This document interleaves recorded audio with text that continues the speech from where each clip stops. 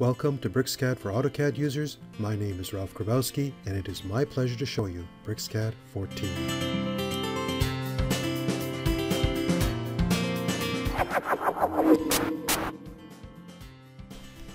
Now today I want to tell you about the prompt menu.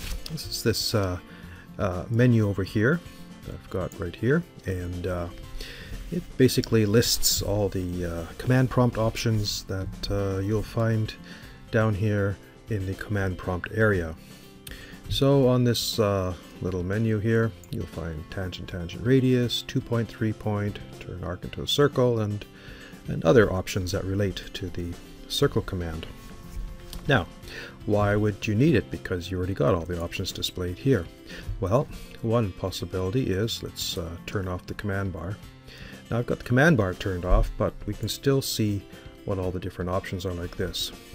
And uh, we can put this uh, menu over here in a blank area of the uh, properties palette or some other convenient spot like another screen.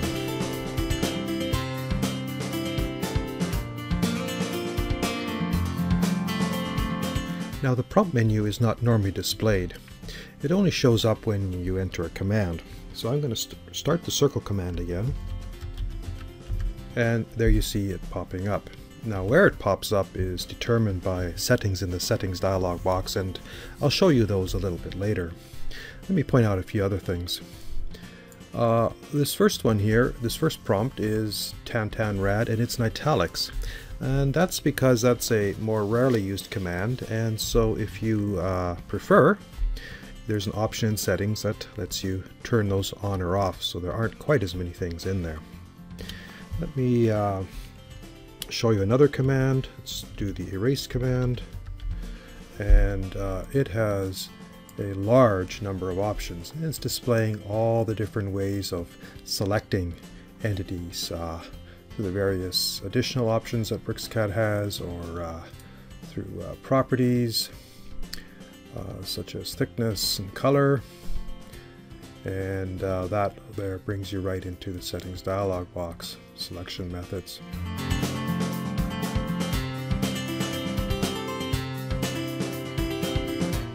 Control how the prompt menu works, you're going to go into settings and then select settings.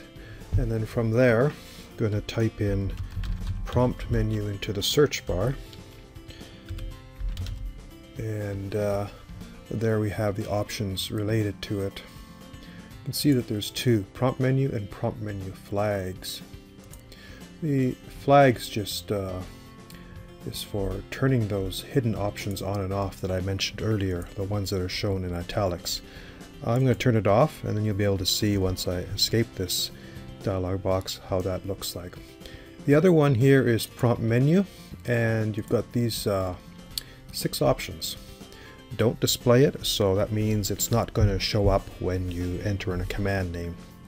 Display prompt menu means that the menu floats and it'll stay where you last left it.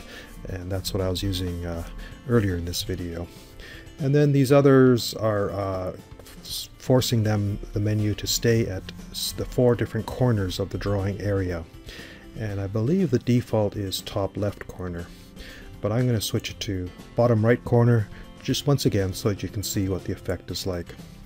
So I made these two changes. I'm going to uh, close the settings dialog box and I'll start that circle command again. Notice that this time it appears in the lower right corner and that the italicized prompt tantanrad is now missing. I trust you found this video useful and that you'll uh, watch again when we bring you another way of working more efficiently with BricsCAD. Download the free trial version of BricsCAD at www.bricsys.com and check it out for yourself.